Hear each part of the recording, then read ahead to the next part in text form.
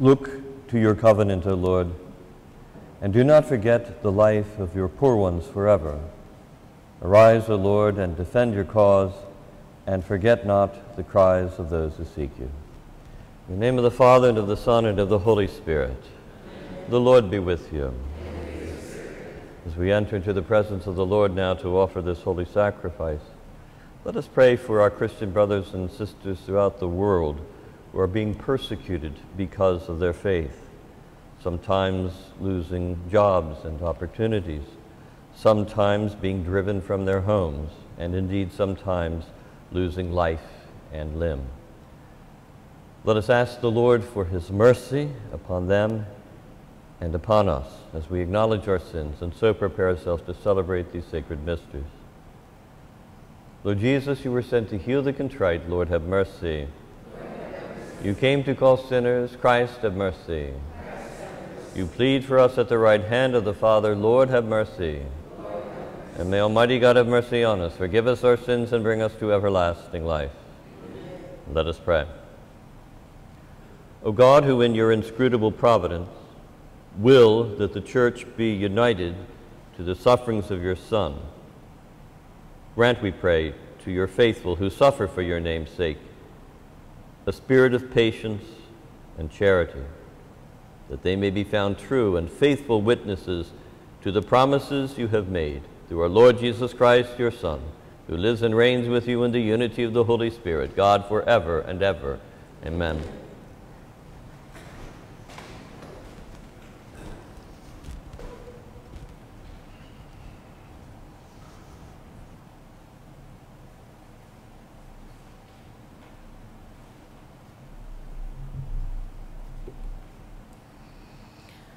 A reading from the book of Ecclesiastes. Vanity of vanities, says Kohelet. Vanity of vanities, all things are vanity.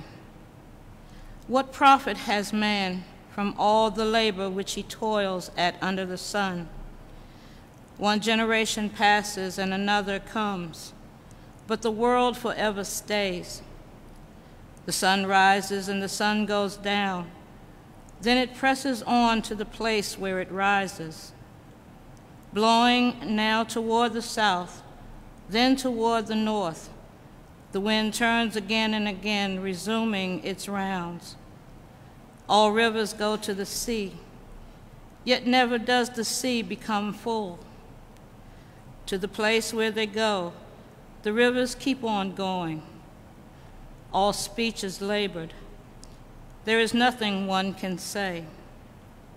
The eye is not satisfied with seeing, nor is the ear satisfied with hearing. What has been that will be?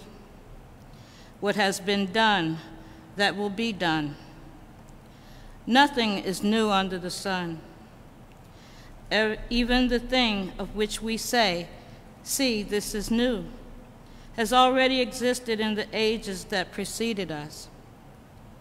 There is no remembrance of the men of old, nor of those to come will there be any remembrance among those who come after them. The word of the Lord. In every age, O Lord, you have been our refuge. In every age, O Lord, you have been our refuge. You turn man back to dust, saying, Return, O children of men. For a thousand years in your sight are as yesterday, now that it is past, or as a watch of the night. In every age, O Lord, you have been our refuge. You make an end of them in their sleep the next morning they are like the changing grass, which at dawn springs up anew, but by evening wilts and fades. In every age, O Lord, you have been our refuge. Teach us to number our days aright, that we may gain wisdom of heart. Return, O Lord, how long? Have pity on your servants. In every age, O Lord, you have been our refuge. Fill us at daybreak with your kindness, that we may shout for joy and gladness all our days. Prosper the work of our hands for us. Prosper the work of our hands. In every age, O Lord, you have been our refuge. Alleluia, alleluia. I am the way and the truth and the life, says the Lord. No one comes to the Father except through me. Alleluia, alleluia.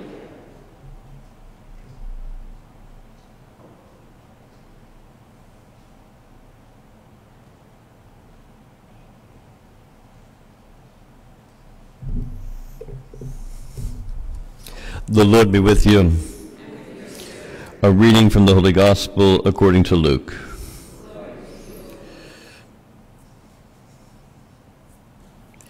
Herod the Tetrarch heard about all that was happening, and he was greatly perplexed, because some were saying, John has been raised from the dead. Others were saying, Elijah has appeared. Still others, one of the ancient prophets has arisen. But Herod said, John I beheaded. Who then is this about whom I hear such things? And he kept trying to see him. The Gospel of the Lord. Please be seated.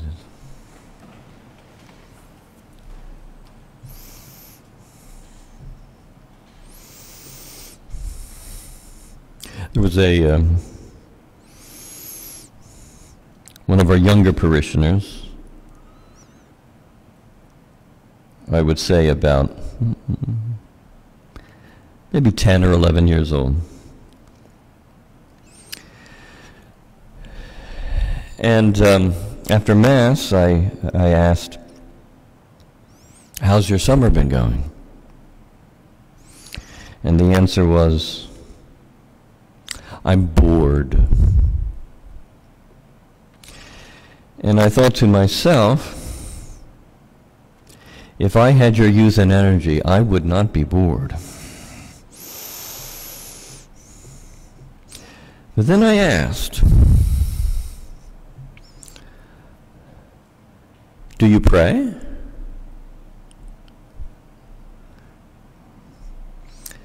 Do you make time for the Lord?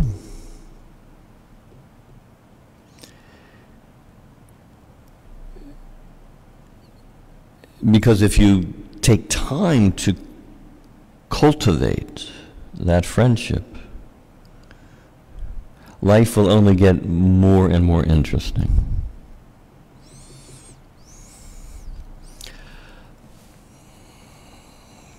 Uh, the response I got was sort of just eyes open wide. But I hope the seed was planted. Vanity of vanities, says Koheleth. Vanity of vanities, all things under the sun are vanity. All things in this world without relationship with God are just passing things. That in and of themselves cannot provide us with that substantial meaning and relationship that makes life interesting and indeed livable. Otherwise,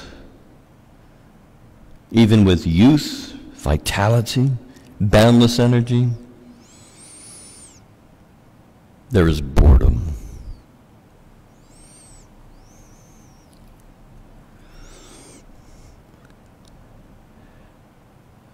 Koheleth, in our first reading, expresses an attitude that at times may press upon us, where we look at our life and perhaps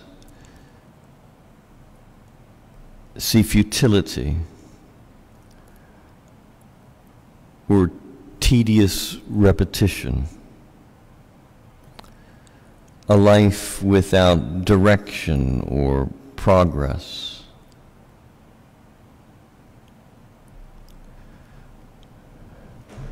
A life of shattered dreams and expectations. I think that's a pretty universal experience. Not just for unbelievers, but for believers as well. Believers who always are summoned by the Lord to grow in their faith. Lord, I believe, but help my unbelief. And we can look at life and say, even the things of which we say, this is new, turn out to be not really new at all. The latest iPhone, the latest electronic game. Interesting for a while and then, well, it just seems to be like every other iPhone before that, every other game I played. But to pursue a relationship with the Lord, now that's something different. That's not under the sun. That's the Son of God who is beyond all creation, entering into our heart, into our lives, to cultivate the joy and the peace that is the Lord and that He alone can give to us. And to embrace the discipline of faith, the joy of hope, and the challenge of charity. That's not vain. That's not boring. It is infinitely exciting.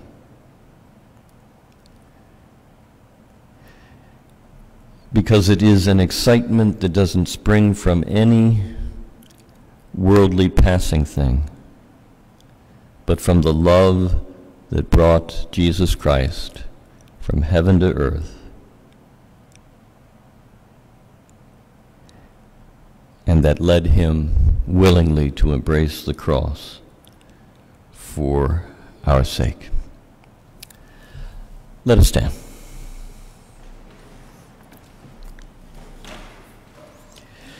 In the mystery of the incarnation and still more of the cross, our Lord Jesus reveals to us the power of self abasement. As he summons us to imitate him, let us pray. Lord, you did not think equality with God something to be clung to. Release us from the desires for power and prestige which can never satisfy our hearts. We pray to the Lord. Grant our prayer, O Lord. Lord, you emptied yourself, taking on the nature of a slave. Free us from all disdain for works of service, as tedious at times as they may be. We pray to the Lord. Grant our prayer, O Lord. Lord, you became obedient, even unto death, death on the cross. Deliver us from the false allure of self-sufficiency. We pray to the Lord. Grant our prayer, O Lord for peace in the world and the protection of our servicemen and women and first responders, for those who have fallen, for the consolation of their families, we pray to the Lord. Grant our prayer, O Lord. For God's blessings of unity and peace upon all marriages and families, and for an abundance of vocations, to the priesthood, diaconate, and consecrated life, we pray to the Lord. Grant our prayer, O Lord. For God's blessings upon our parish, all of our parish apostolates, as the Lord summons us, attracts us, draws us to himself, we may bear fruit for the new evangelization. We pray to the Lord. Grant our prayer, O Lord, for all those who are burdened by any need, for the sick and dying, the homeless and unemployed, for widows and orphans, refugees, immigrants, migrants, for victims of war, violence, natural disasters, persecutions, and human exploitation, for all those who are weighed down by addictions or chronic pain or mental illness. For all the suffering poor, we pray to the Lord. Grant our prayer, O Lord. For all those who have died in the hope of resurrection, especially among our family, friends, benefactors, and fellow parishioners, we pray to the Lord. Grant our prayer, O Lord. and for the special prayers which we bring before the Lord this day. Lord Jesus, you wash the feet of your disciples, you who are both Lord and Master. Strip us of the garments of pride and free us to do for one another the tasks of love. Through Christ our Lord. Amen.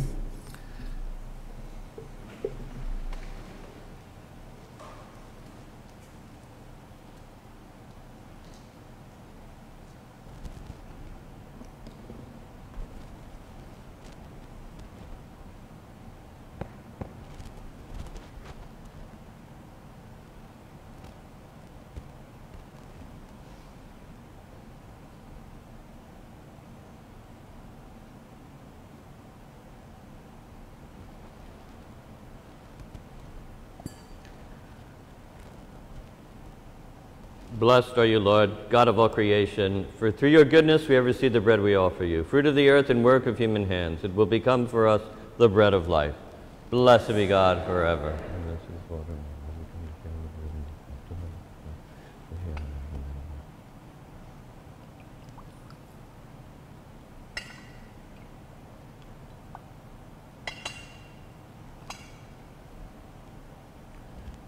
Blessed are you, Lord God of all creation, for through your goodness we have received the wine we offer you, fruit of the vine and work of human hands. It will become our spiritual drink. Blessed be God forever.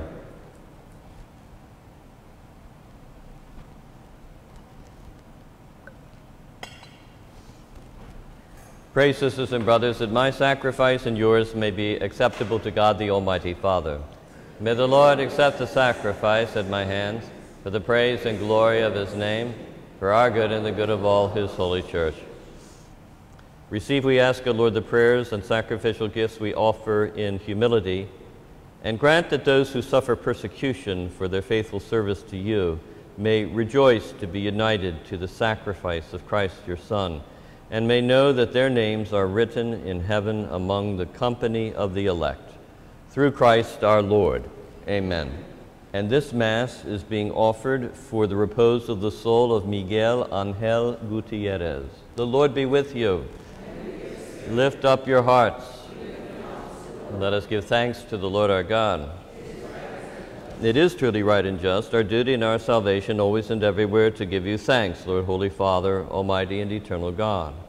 For although you have no need of our praise, yet our thanksgiving is itself your gift. Since our praises add nothing to your greatness, but profit us for salvation through Jesus, your beloved Son. And so, in company with the choirs of angels, we praise you, and with joy we proclaim, Holy, holy, holy, Lord God of hosts, heaven and earth are full of your glory. Hosanna in the highest. Blessed is he who comes in the name of the Lord. Hosanna in the highest.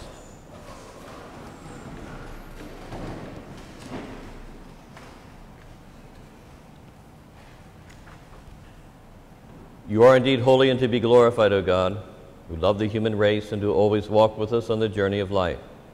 Blessed indeed is your Son, present in our midst when we are gathered by his love. And when, as once for the disciples, so now for us, he opens the Scriptures and breaks the bread. Therefore, Father most merciful, we ask that you send forth your Holy Spirit to sanctify these gifts of bread and wine, that they may become for us the body and blood of our Lord Jesus Christ. On the day before he was to suffer, on the night of the Last Supper, he took bread and said the blessing, broke the bread and gave it to his disciples, saying, Take this, all of you, and eat of it, for this is my body, which will be given up for you.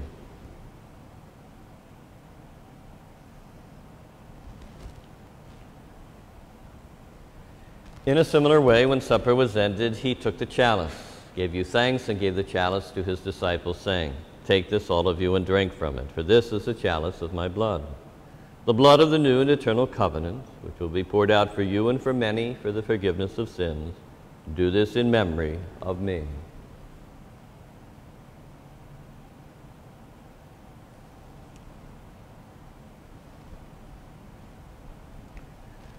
The mystery of faith. We proclaim your death, O Lord, and profess your resurrection until you come again. Therefore, Holy Father, as we celebrate the memorial of Christ, your Son, our Savior, whom you led through his passion and death on the cross to the glory of the resurrection, and whom you have seated at your right hand, we proclaim the work of your love until he comes again, and we offer you the bread of life and the chalice of blessing. Look with favor on the oblation of your church, in which we show forth the paschal sacrifice of Christ that has been handed on to us, and grant that by the power of the Spirit of your love, we may be counted now and until the day of eternity among the members of your Son, in whose body and blood we have communion. By our partaking of this mystery, Almighty Father, give us life through your Spirit. Grant that we may be conformed to the image of your Son, and confirm us in the bond of communion, together with Francis, our Pope, and Wilton, our Bishop, with all other bishops, with priests and deacons, and with your entire people. Grant that all the faithful of the Church, looking into the signs of the times by the light of faith, may constantly devote themselves to the service of the gospel. Keep us attentive to the needs of all, that sharing their grief and pain, their joy and hope, we may faithfully bring them the good news of salvation and go forward with them along the way of your kingdom. Remember our brothers and sisters who have fallen asleep in the peace of your Christ and all the dead whose faith you alone have known. Admit them to rejoice in the light of your face, and in the resurrection give them the fullness of life. Grant also to us, when our earthly pilgrimage is done, that we may come to an eternal dwelling place and live with you forever. There, in communion with the Blessed Virgin Mary, Mother of God, with blessed Joseph, her spouse, with the apostles and martyrs, with St. Hugh, and with all the saints, we shall praise and exalt you through Jesus Christ, your Son. Through him and with him and in him O God, Almighty Father, in the unity of the Holy Spirit, all glory and honor is yours forever and ever. Amen.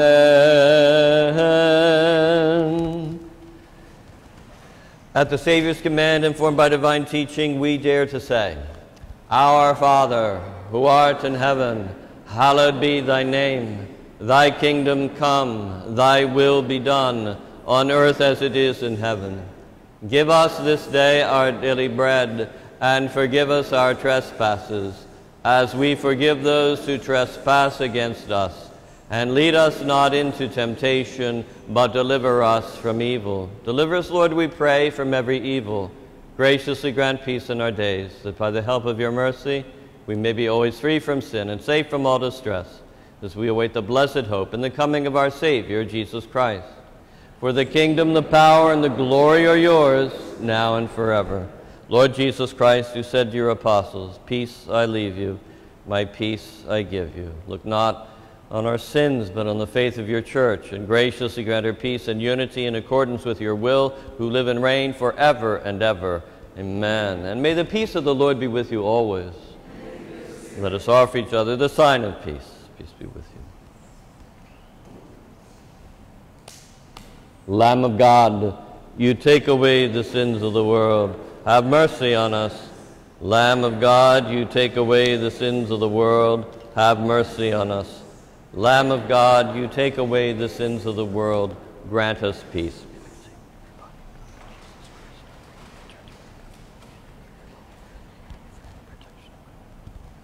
Behold the Lamb of God, behold him who takes away the sins of the world. Blessed are those called to the supper of the Lamb.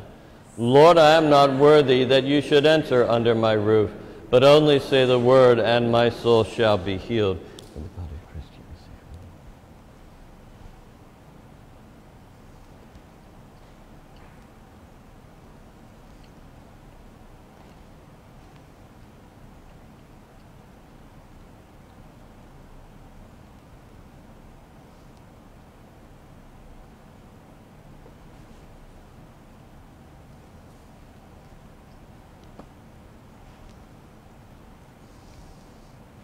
Blessed are you when they insult you and persecute you because of me, says the Lord. Rejoice and be glad, for your reward will be great in heaven.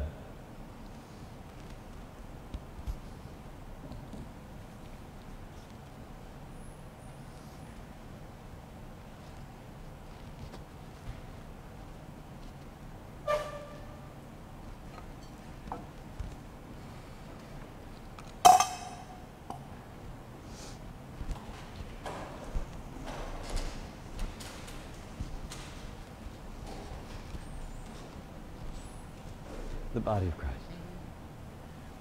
The body of Christ. The body of Christ. The body of Christ. The body of Christ. The body of Christ. The body of Christ. The body of Christ. The body of Christ. The body of Christ. The body of Christ. The body of Christ the body of Christ. The body of Christ. Amen. The body of Christ. The body of Christ. The body of Christ. The body of Christ. The body of Christ. The body of Christ. The body of Christ. The body of Christ.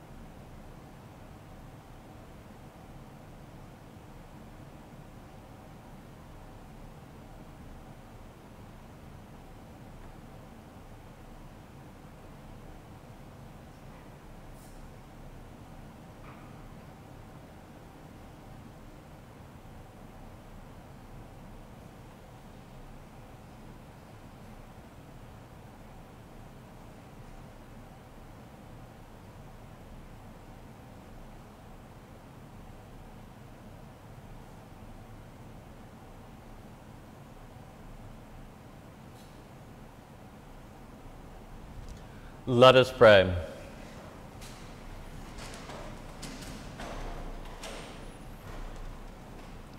By the power of the sacrament, O Lord, confirm your servants in the truth, and grant to your faithful who suffer tribulation that as they follow your Son in bearing their cross, they may in every trial glory in the name of Christian.